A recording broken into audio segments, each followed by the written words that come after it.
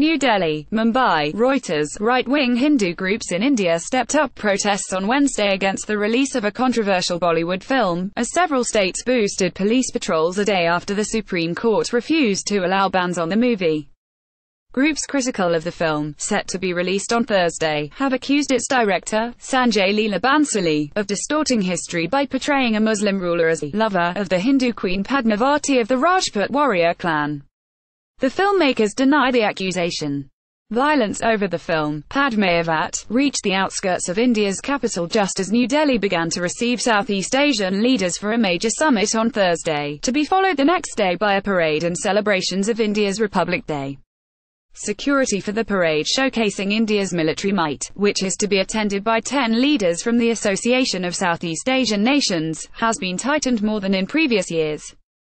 Television broadcast images of gangs of young men, their faces concealed by swathes of cloth, throwing stones in the streets of Gurgaon, 30 kilometers 19 miles, from New Delhi, while the hollowed-out shell of a bus molded nearby. The protesters carried sticks and caused minor injuries to 14 people, said B.S. Sandhu, a senior police official, adding that police had detained 15 protesters. We will not tolerate any violence in the name of protests against a movie, Sandhu added. Sporadic rioting did take place but no one will be allowed to protest now. Indian films that touch upon the historical relationships of Hindus, India's majority religion, and Muslim leaders are often controversial.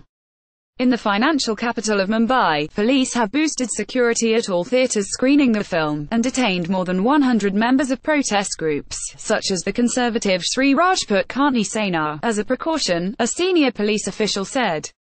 Police stand guard outside a multiplex during a protest against the release of the upcoming Bollywood movie, Padmavat, in Ahmedabad, India, January 23, 2018.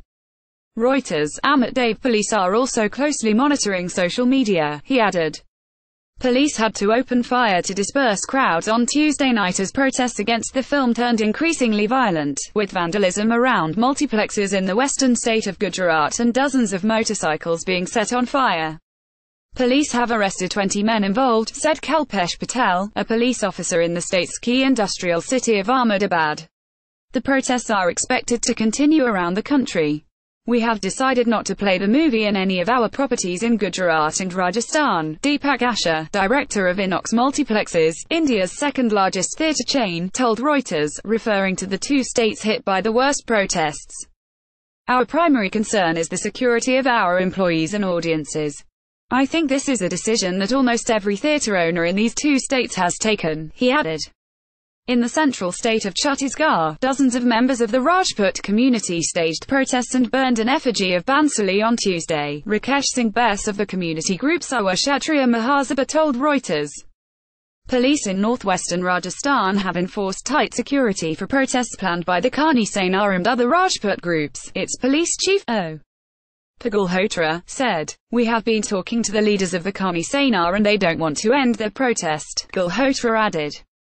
We have decided to allow them to hold small protests, and have made adequate arrangements to maintain law and order.